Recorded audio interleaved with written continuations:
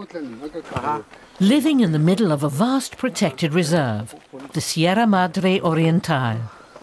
All this was once forest land. Now beans, chilies, and especially corn are grown here. The corn is important for the family. We don't sell any of it. There's no sign of irrigation on the fields. The people rely on the rains and the cloud forests that dominate this part of the Sierra Madre Oriental.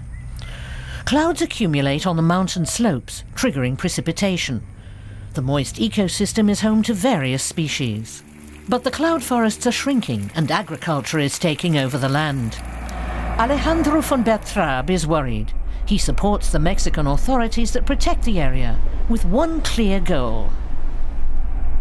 To create new and innovative incentives and develop projects with the people where they can, of course, use the land and where it's not threatening. The team from the German development organization GIZ is visiting the protected area, mainly to listen to the locals. This farmer is talking about how pomegranates and avocados used to grow here. But deforestation has changed the soil texture. It's become much drier. The village of Haltepec is the focus of the project. Today, the people have been invited to a workshop. It deals with their future and how to live in the protected area without further destroying the forests. The scientists are seeking solutions, together with the residents. After all, the villagers know the land and the local weather patterns better than anyone.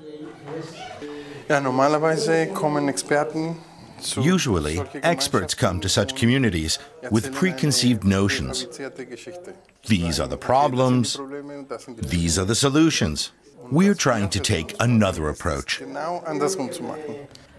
The project has led to a concrete change, 100 kilometers away in San Nicolas.